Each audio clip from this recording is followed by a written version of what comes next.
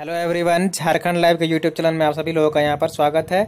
तो यहाँ पर हम बात करने वाले हैं रांची यूनिवर्सिटी में यहाँ पर एमए मानव अधिकार शिक्षा के लिए जो है वो 20 तक जो है वो आवेदन दे सकते हैं यहाँ पर। ठीक है? तो यहाँ पर देख सकते हैं आपकी रांची विश्वविद्यालय के स्नातकोत्तर समाजशास्त्र विभाग के अंतर्गत संचालित एम मानवाधिकार शिक्षा में नामांकन के लिए आवेदन की तिथि बढ़ाकर जो है वो बीस जुलाई तक यहाँ पर कर दी गई है। तो एडमिशन लेने के लिए आपका किसी भी संकाय में न्यूनतम पैंतालीस प्रतिशत प्राप्तांक से स्नातक उत्तीर्ण ग्रेजुएशन पास होना ज़रूरी है, ठीक है? वह उत्तीर्ण छात्र छात्राओं इसमें नामांकन के लिए आवेदन कर सकते हैं।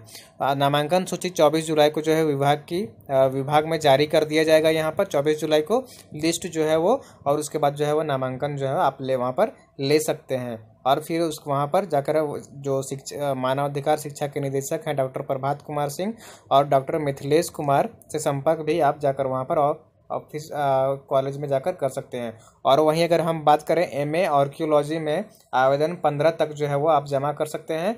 रांची विश्वविद्यालय के एमए आर्कियोलॉजी में म्यूजियो, म्यूजियोलॉजी, ठीक है? सत्रह दो हज़ार उन्नीस इक्कीस में नामांकन के लिए आवेदन आमंत्रित किया गया है। कला विज्ञान और वाणिज्य के स्नातक विषयों में ऑनर्स या पास कोई कोर्स में उत्तीर्ण छात्र छात्राएँ इसमें आवेदन कर सकते हैं। वार्षिक फ़ीस जो रखा गया है, वो यहाँ पर देख लीजिए। आपका ओबीसी के लिए दस हज़ार रुपया है, ठीक है? सामान्य और ओबीसी के लिए दस हज़ार रुपया रखा गया है और एस सी के लिए यहाँ पर देख लीजिए साढ़े सात हज़ार रुपया सालाना फ़ीस रखा गया है। नामांकन फॉर्म इतिहास विभाग से किसी भी कार्य दिवस में सुबह साढ़े दस बजे से साढ़े चार बजे तक जो है वो प्राप्त कर सकते हैं और ये पंद्रह जुलाई तक जाकर आप वहाँ पर जमा कर सकते हैं। ठीक है?